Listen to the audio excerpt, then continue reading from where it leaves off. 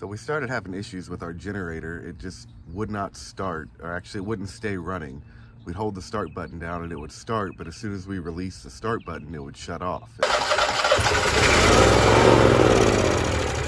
It was giving us a code fault 37, which is invalid set configuration, which didn't mean a lot to me, but after doing research and whatnot, I thought it was gonna be this control board needed replaced and we were this close to spending $680 on a new one when I got a hold of um, a Cummins service department and the service manager spoke with me on the phone for a while and I explained what was going on and his suggestion was to look at the brush block before replacing that.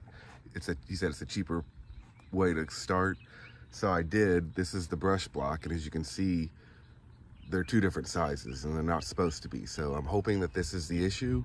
It was a $50 part. They had it in stock. Um, so I'm gonna change that out and see if it fixes it. So I've removed the air box and taken the control board out allowed me access to, this is where the brush block was. The slip rings, I believe they're called, are back there. And the bottom one, hard to see in the video, but it has some pitting on it. And so the service manager I spoke with at Cummins recommended this tool. I got it from Grainger. It was a little expensive with delivery, about $50. This is the part number 426P77. But that's to clean that slip ring before I install the new brush block. So here's our new brush block.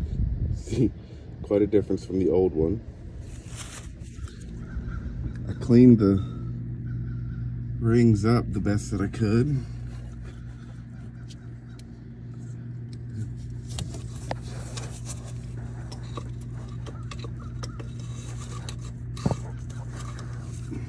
So that gets installed there. So it's just one 10 millimeter bolt holding that on. There's two wires. They both looked very similar. So when I took them off, something I do is to remind myself, I put black electrical tape on the bottom wire. I've Got the new brush block installed. I went ahead and installed new spark plugs. One's there and the other is right here. The wrench fits nicely back in there since I got it apart, figure might as well change the spark plugs. I haven't done it in the two years I've owned it and they definitely look like they needed it. Now I'm gonna start putting this back together. I had disconnected these wires doing all this. I'm gonna do it again right now, but I put them back together because I needed to push the start button and have the um, rings turn when I polished them. So I'm gonna get this taken off and get the controller put back in, or the control board. Uh, so I went ahead and disconnected my positive terminal.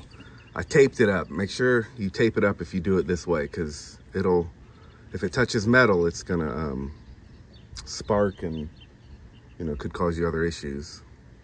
Now I'm having my stud here, the bolt, I'm sorry, the nut on this stud is not wanting to come out. The whole stud comes out, but it hasn't been an issue. I've put it back together a couple times and it's doing what it should be. So it's just old and rusty.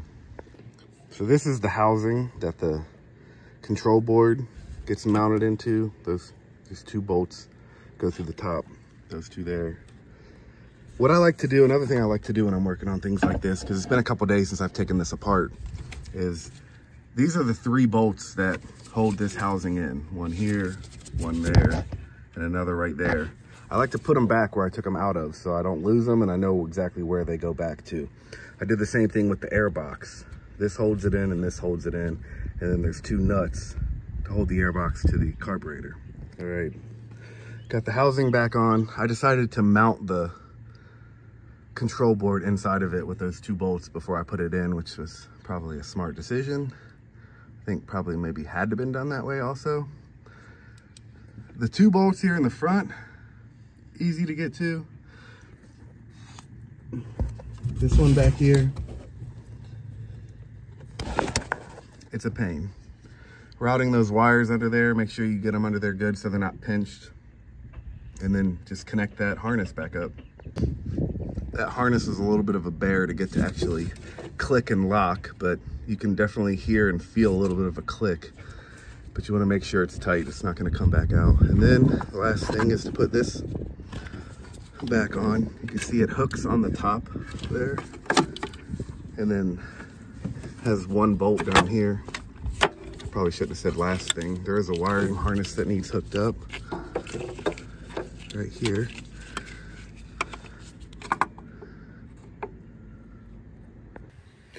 So when putting the air box back on, just wanna make sure this tube up here connects right here and that this gasket is seated well on the carburetor. That's about it. Moment of truth. $100 later, let's see if it runs.